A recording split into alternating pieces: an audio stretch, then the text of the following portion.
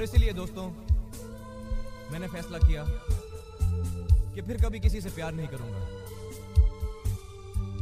कभी किसी लड़की को अपना दिल नहीं दूँगा।